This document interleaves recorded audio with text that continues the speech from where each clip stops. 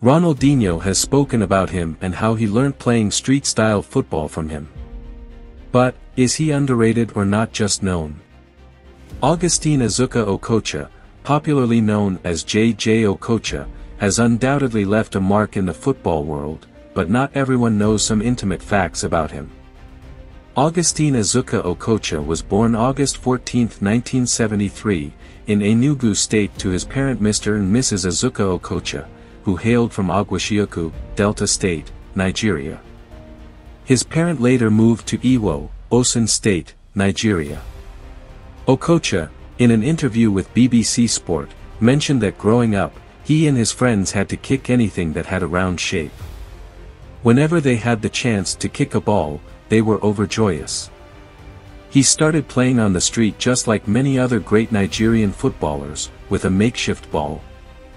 JJ was loved by football fans across the world for his confidence on the ball, tricky moves on the ball, dribbling skills, feint moves, amazing free kick goals, creativity, passing and his trademark step over and sharp turns. He started his football career with the Nigerian professional league side Enugu Rangers, where he showed the world his ability on the ball.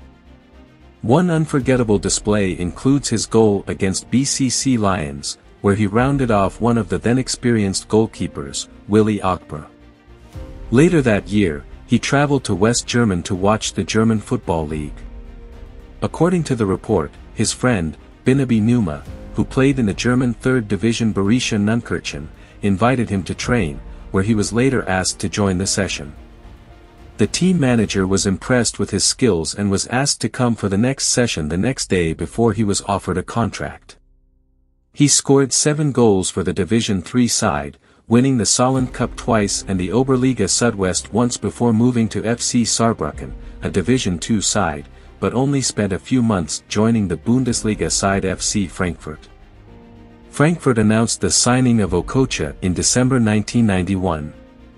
Settling down at this new site, he linked up with fellow African footballer Tony Yeboah, German star Thomas Doll, and many popular football players then. He started well for his new side following some awesome displays, including his goal against Karlsruhe, where he dribbled past one of the greatest goalkeepers Oliver Rolf Kahn and the other two players. The goal was later voted the goal of the season and the 1993 goal of the year by viewers of a Sportschau, a German TV sports program. After joining the side, Austin and some of his mates had a feud with the manager Jupp Heynckes which saw them leave the team with immediate effect, except for JJ, who had to wait until the season was over he left the side. He scored a total of 18 goals in 90 appearances for the side. Austin went on to join the Turkish giant Fenerbahce for a fee reported to be approximately around £1 million following his exit from Eintracht Frankfurt. He spent two seasons with the Turkish giant winning the Prime Minister's Cup and the Ataturk Cup for each season, respectively. He gathered a total of 30 goals, most coming from direct free kicks in his 62 appearances for the side. French side Paris Saint-Germain announced the signing of JJ in 1998 for a reported fee of £14 million, which made him the most expensive African football player as of then. He served as a mentor to young Brazilian legend Ronaldinho during his time with the club. He went on to score 12 times for the French side during his four years at the French capital. Okocha left the French side in the summer of 2002 after Korea-Japan World Cup to join the English Premier side Bolton Wanderers. Despite his debut season being disturbed by a series of injuries, his performance made him a fan favorite, which made the team print shirt with the inscription, JJ so good they named him twice. His goal against West Ham United which was later voted the Bolton goal of the season helped the team escape relegation for that season. The goal was later voted Bolton's best Premier League goal in 2008. Following the retirement of Gudni Bergsson, JJ was saddled with more responsibility, with the team handing him the captain armband. As the captain of the team, he led the team to the first cup final after nine years without a final they later ended as runner-up in the 2004 Football League Cup following a 2-1 defeat to Middlesbrough. Three years after being named the captain of the team, he was later stripped of the captaincy, a development he described as something he saw coming following the change of attitude towards him by some staff of the club. According to the report, this resulted from media speculations that he would be leaving the English side for the Middle East. Okocha, however, refused to extend his contract at the end of the season, which made him move to Qatar. He left the side winning the Premier Player Month once in November 2003 and the Bolton Player of the Year in the 2004-2005 season. He was also the BBC African Player of the Year for 2003 and 2004, scoring 14 times in 124 matches for the Wanderers. Okocha's stay with the Qatari side, Qatar Sports Club, was very short, appearing just 41 times for the side and scoring 6 times. Just a year after leaving the United Kingdom for Qatar, Football League Championship side Hull City announced the signing of Okocha on a few transfers after being heavily linked with a move to the United States, with Real Salt Lake and Sydney FC showing interest in the skillful Nigeria player. Okocha described his move to the English side as a move which God told him to make as of then. He spent just a season with the side with injury problems and fitness issues which saw him make just 18 appearances for the side without a single goal.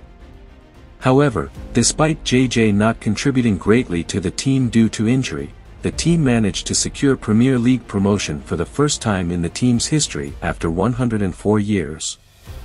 Injury problems and fitness concerns pushed the team to release JJ Okocha, which makes him consider retirement from active football.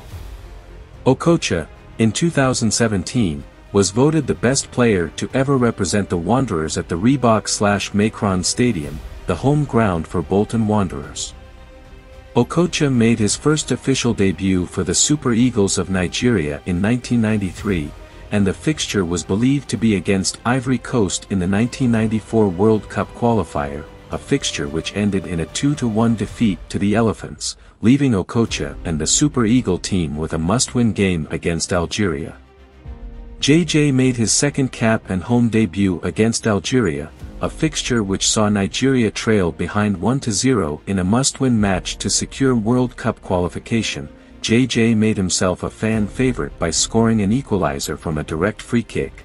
The match later ended in a 4-1 win for the Super Eagles securing them a spot in the World Cup, the first for the country. He also represented the country in the 1994 Africa Cup of the Nation, where the team ended up as runner-up. Following his amazing display and performance, JJ has voted the Nigerian Player of the Year for 1995, an award he later went on to win seven time, including four time consecutively from 2002 to 2005. Okocha was a key member of arguably the most successful Nigeria football team in 1996. The side that won the 1996 Olympics gold at the Atlanta Games. He was also part of the disappointing squad that represented the country in the France 98-foot World Cup, where the team didn't live up to the Nigerian expectation following their success at the Olympics. Their performance at the competition's group stage defeated Spain and Bulgaria but later crashed out of the competition following their 4-1 defeat to Denmark. Okocha's last tournament for the Nigeria national team was at the 2000 co-host Africa Cup of Nations between Nigeria and Ghana, where the team ended up as runner-up following a 2-2 draw with Cameroon. There also was his last goal for the side. The indomitable Lions won the game 4-3 on a penalty shootout. He had a total of three goals in the competition, including a brace against Tunisia in the opening game of the competition, a performance that earned him a standing ovation from the 60,000 spectators present on this faithful day. JJ made a return to the Super Eagle team in his testimonial match played in Warri, Nigeria, against an African selected 11. Featuring great African players like John Fashanu, Amokachi, Sulley Muntari and others. Team Nigeria won the game, with Okocha scoring the winning goal after appearing for the team in the second half. This marked his last involvement with the Super Eagle. Okocha, following his retirement from professional football, expressed his interest in becoming the Nigeria Football Federation, NFF, in 2015. He didn't contest the election but was elected as the chairman of the Delta State Football Association. He served as a football pundit, African sports broadcaster and supersport since 2019, where he provide match analysis for major tournament across Africa and Europe. Okocha's unbelievable talent and career that came to an end without winning the Africa Footballer of the Year still remains a surprise for Nigerian football fans. Guess you enjoy gluing along and following the story up till now. For more exciting sports stories, don't forget to please subscribe.